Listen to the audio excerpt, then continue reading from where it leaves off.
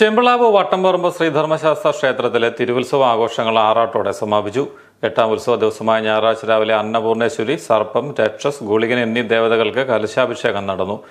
ഉച്ചയ്ക്ക് ആറാട്ട് സദ്യയ്ക്ക് ശേഷം മൂന്ന് മണിയോടെ ആറാട്ട് പുറപ്പാട് നടന്നു. പുൻകുന്നത്ത് ശിവക്ഷേത്ര ആറാട്ട് കടവിൽ തിരു ആറാട്ടും നടന്നു. ഏഴു മണിയോടെ തിരിച്ചെഴുന്നള്ളിപ്പ് ആരംഭിച്ചു.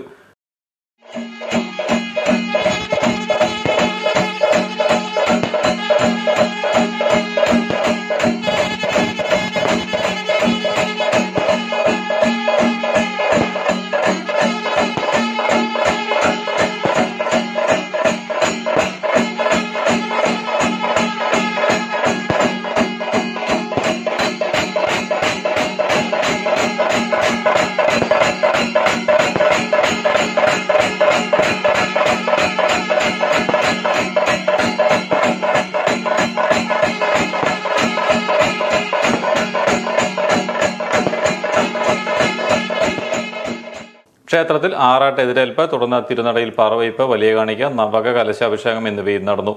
ആറാട്ട് ചടങ്ങുകളിലും ആറാട്ട് എതിരേൽപ്പിലും നിരവധി ഭക്തർ പങ്കെടുത്തു.